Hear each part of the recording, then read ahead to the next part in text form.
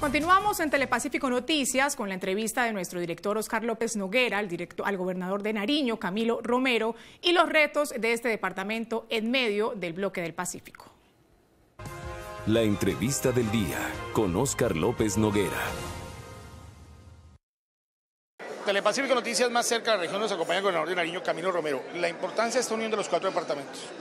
Bueno, la planteamos desde siempre. Mire, el 21 de enero de 2016, a 21 días de ser gobernadores, los cuatro ya estábamos reunidos en Quibdó con una decisión, trabajar unidos, más allá de las diferencias que las tenemos, pero siempre, siempre planteándonos propósitos superiores, propósitos comunes de juntarnos como región.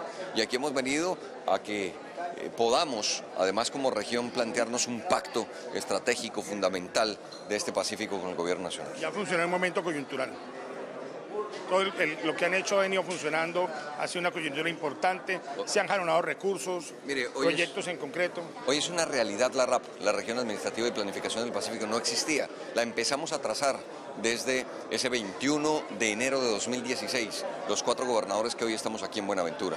Así es que se ha dado todo un proceso que nos ha llevado a consolidar a un Pacífico unido en medio de su diversidad y sus diferencias que se ha planteado con grandes retos ante el gobierno nacional.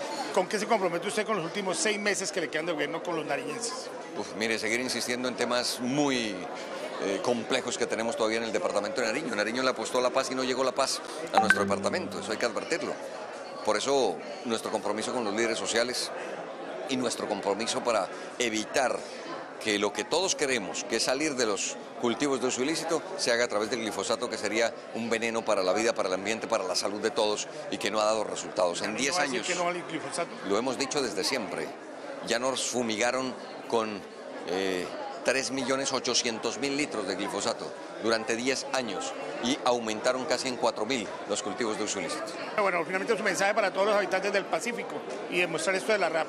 ¿No? de fortaleza, de persistencia, de insistencia y que juntos debemos lograr que este Pacífico nuestro no sea visto desde el nivel nacional como una carga, sino como una inmensa oportunidad. Muy bien, el gobernador de Nariño, Camilo Romero, aquí en Telepacífico Noticias, la información desde Buenaventura con Oscar López Noguera.